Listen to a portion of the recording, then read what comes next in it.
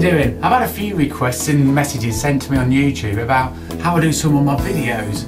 So I thought I'd do a video on how to do green screening. Hope you find this video helpful. I will teach as much as I know about green screening. I've been doing it for probably about a year now and I'm going to show you what I do, my methods and everything.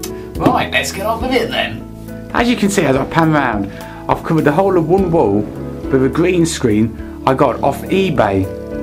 They don't all have to be this sort of size and here we go, pan down onto the floor so you can see it's right to the floor as well. And this green screen behind me, which I've just showed you, that cost me around, I think about £40. So if you go onto ebay.com and type in green screen, a load of stuff about green screen will come up and you'll see different sizes because you don't need like the size I've just showed you really. If you want to like be like moving about like this and all that, it's good to have plenty behind you if you've got the room.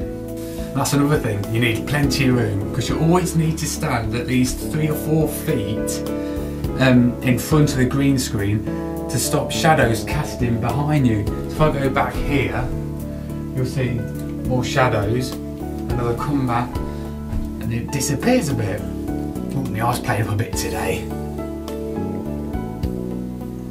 Having a bit of trouble going see the opticians and the specialist tomorrow.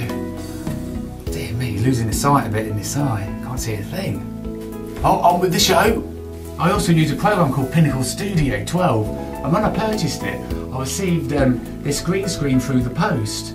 It's six foot by five foot and this is really all you need and you stick one of these on your wall like so like that cover the wall and if you want to if you do like um, talking into a camera like this this size five by six six by five that would be fine but that would. But if you like to be moving around and everything then you're going to need a much bigger room and a much bigger green screen. You can never have enough green screen. The camcorder I use cost me just over 200 pound and it's a Samsung Progressive HD camcorder. And it's in that it says it's a VP-HMX10 on my little booklet here. So I hope this helps. So it's, it's not like a fancy big camcorder or anything. It's your average normal sized camcorder family recording camcording device